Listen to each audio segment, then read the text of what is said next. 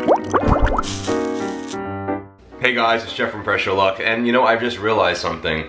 It's been quite a while since I've released a dessert recipe. Now I know they're probably the most infrequent recipes I release, mostly because I don't really fancy myself a baker, and mostly also because I feel like if I'm gonna release a dessert, it's gotta be absolutely to die for delicious. So it was really staring me in the face the other day when I was making chocolate chip cookies. I have a regular recipe for those, really very simple to make. I said, how about I do a deep dish style gigantic chocolate chip cookie that's not going to be crunchy like a chocolate chip cookie or even really super crumbly like one but more like almost like a little bit of a cake and a brownie consistency where it's ooey gooey chewy and just absolutely spectacular on every single level. This one could not be easier to make. It's literally like a deep dish chocolate chip cookie and wait until you sundae it up at the end. Make this on sunday it doesn't have to be on Sunday that you make it, just make it a Sunday with an AE, you know what I mean? Let's go to the Instant Pot. Well, first we're gonna go to the stand mixer and mix together the most amazing simple batter. You probably already have most of these ingredients lying on hand at your house. And we're going to make, from there, the most amazing deep dish chocolate chip cookie you've ever known.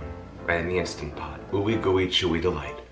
Let's do it. So the first thing I want to do is grab myself a nice lovely stand mixer. You can use any color. Or if you don't have one of these, you can use a hand mixer, but I'm telling you right now, a stand mixer is the best thing in the world to mix a cookie dough. It just makes everything so much easier and saves some calluses, I can tell you that. Alright, so to this bowl, I'm going to add in one whole stick or eight tablespoons, or a quarter of a pound or a half a cup you see all those options there you have? It's so confusing. Um, I just like to say a stick of salted butter. Most people use uh, unsalted butter for a cookie dough, but I like to use salted butter.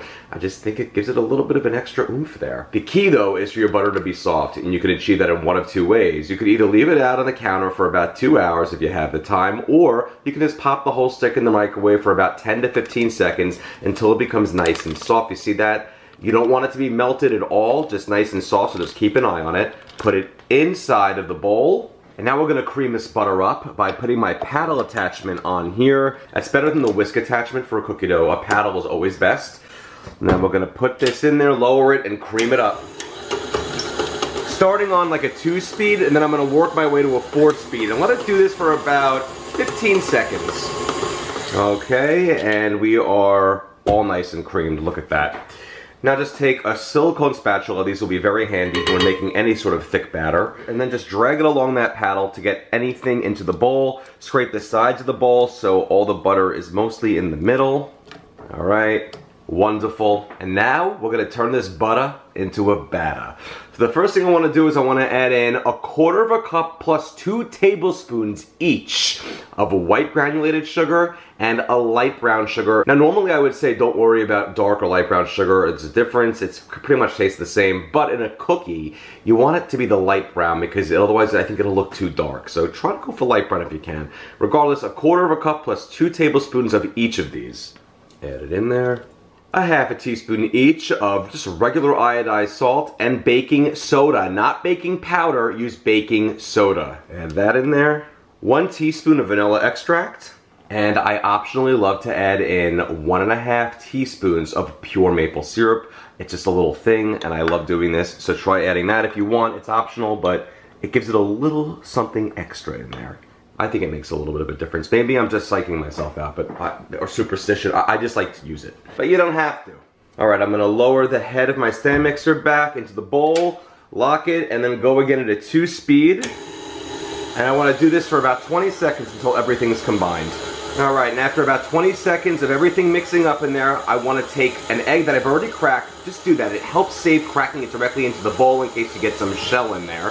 One large egg and add it in and let it go for another 20 seconds. Again, I'm at the two speed on my stand mixer. That's just one above the stir speed, which is the lowest. And that's perfect. I'm turning it off. I'm raising the head of the stand mixer here and lovely. I'm going to just, again, push everything off of my paddle into the bowl as well as scraping the sides and making sure that's in there. Alright, so we have all this lovely stuff going on in there with all those flavors, sugar, butter, and now, if you saw the Waitress musical, we need to add our key ingredient to tie it all together, flour. Flour, all-purpose flour we're gonna use for this, just simple all-purpose flour, and you don't even need to sift it. Ah, but flour can just go all over the place like someone sneezing into snow, except a thousand times worse. It just goes everywhere, like cornstarch can be. It's kind of annoying. So we wanna be very mindful about this. Let's lower our stand mixer head back in there, lock it, and at the very lowest speed, let it go, which is stir on many models, it says stir. Add in very gently about half of the flour.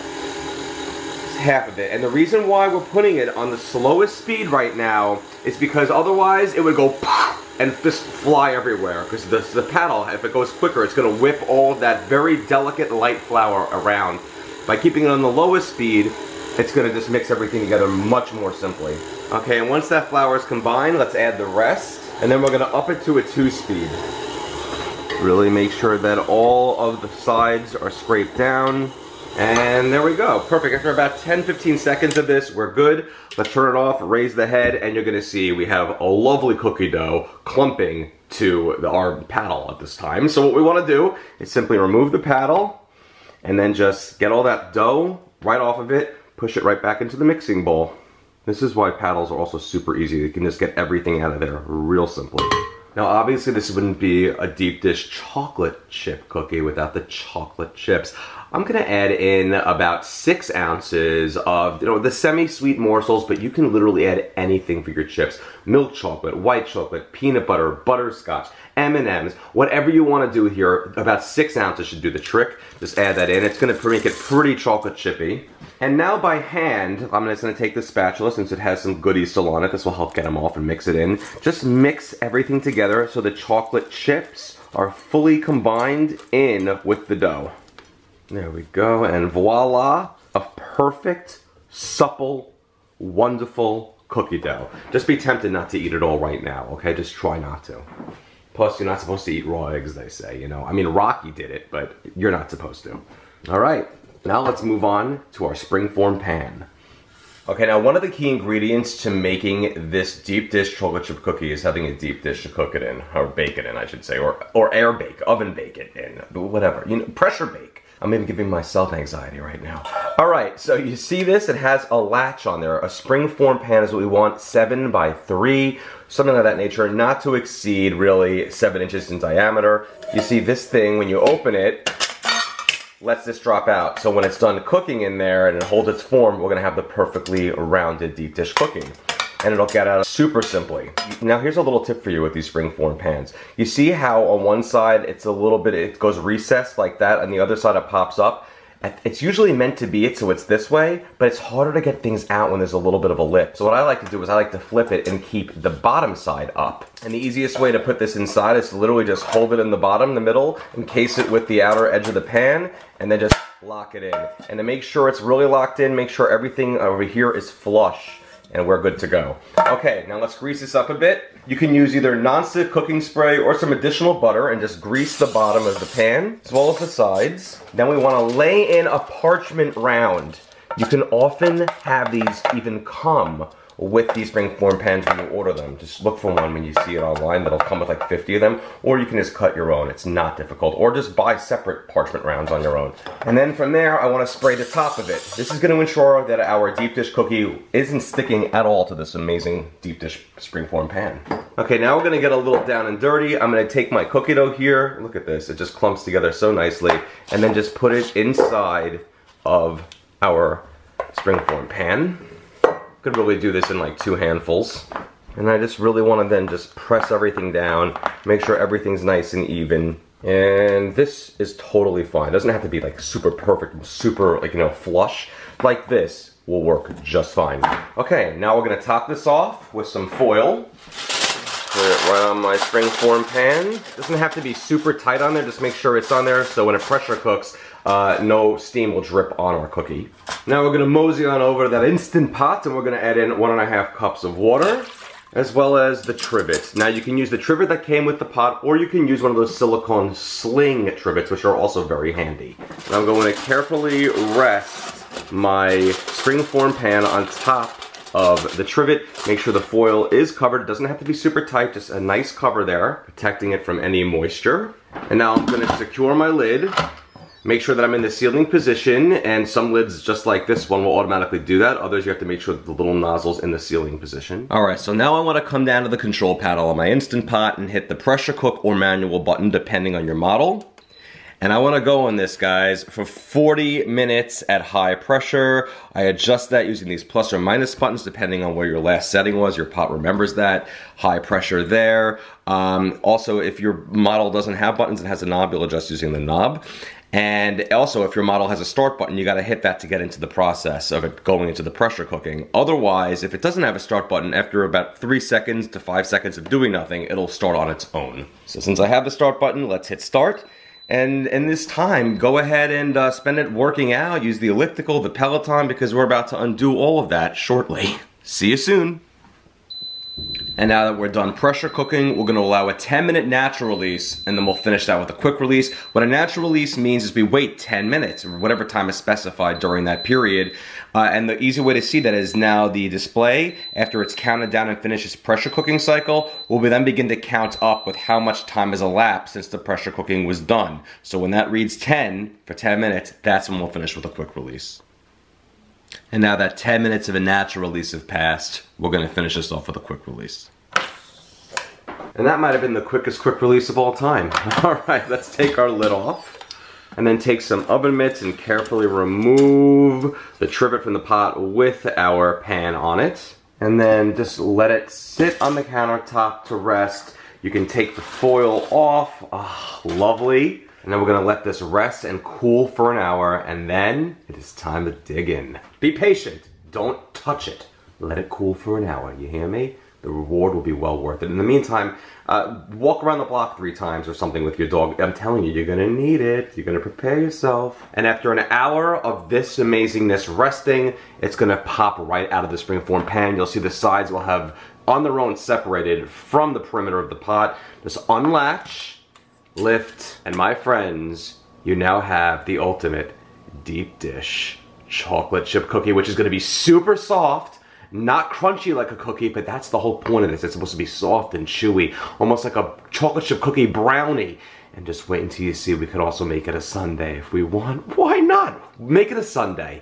All right, let's serve this up. All right, so I'm gonna cut myself a slice here. Oh, look at this. It's gonna be so perfect. The, the texture, the consistency, super chewy, as it should be in this circumstance. A nice deep dish chocolate chip cookie. And there we go. That parchment paper underneath really comes in handy here because it's going to make it really easy to separate from everything else. And right on the plate you go. My chocolate chip cookie deep dish style. I mean, this thing is about an inch thick. Wonderful. Wonderful. Look at the inside of that. Oof. The best part is now you can take any of this if you're not going to finish it now and just put it in an airtight container and you can always microwave it for like 5 to 10 seconds and it'll soften up. It's still going to be soft, but if you want to give it like that ooey gooey situation with the chocolate chips, see how they're still melted? That's where it's at. Now you can also take a nice slice of this wondrous deep dish chocolate chip cookie and if you want to, you can always microwave it if you want it to be a little warmer or even softer. It's up to you. It's although it's already super chewy and soft. Add a little bit of ice cream to, on the top, a little dollop of some vanilla, and then put some chocolate syrup, and then maybe some caramel syrup. And look at that. Look at that. A gorgeous deep dish chocolate chip cookie sundae. Also feel free to put a cherry on top, of course. And I'm gonna try this out before this giant Pac-Man chocolate chip cookie cannibalizes itself. Okay, first I wanna just try out my cookie on its own.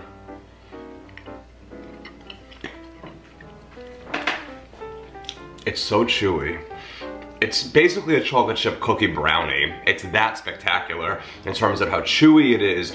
It's not gonna be a crunchy chocolate chip cookie. If you want that, make chocolate chip cookies. This is a deep dish cookie. It's gonna, you don't want it to be that hard and crumbly. You want it to be nice and sliceable, like a cake. Mmm, sinful. And here is my spectacular, spectacular sundae. You can put anything on this. Nuts, sprinkles, cherries, whipped cream, whatever. This is a crime almost. Uh, this is ridiculous. Ridiculous. Easily one of the most tasty, decadent, I'm in love, I'm in heaven. I'm in heaven with this. I gotta stop eating it though. I, I'm trying to be good right now, but the things I do for you, next level, and not hard to make, like ridiculously easy in fact. Just mix together some things in a mixing bowl and then literally put it inside of a pan, bake it, or pressure bake it, and or steam bake it, and poof, you're done. Guys, spectacular. Check out my other recipes at pressureluckcooking.com. And I wrote some cookbooks, three of them to be exact. I have the Step by Step Instant Pot cookbook, the orange one, the lighter Step by Step Instant Pot cookbook, the blue one, and the yellow one, the Simple Comfort Step by Step Instant Pot cookbook. This is what they call a galley. This isn't the actual book just yet. It's coming out in April of this year, but it's gonna be spectacular. It's gonna be the same color, yellow. So I have orange, blue, and yellow, and facebook.com slash cooking. Like that page every time anything comes out, you'll know about it. Uh, I try to share important tips and deals when they pop up as well, so don't miss that. And uh, Pressure Luck Cooking on all the other socials. Thanks a lot again, and next time you watch an episode of Sesame Street, just make sure Cookie Monster is not on the screen while you're eating this because uh, the, the could, things could get a little messy at that point. You might jump to the screen and steal it from you. Enjoy.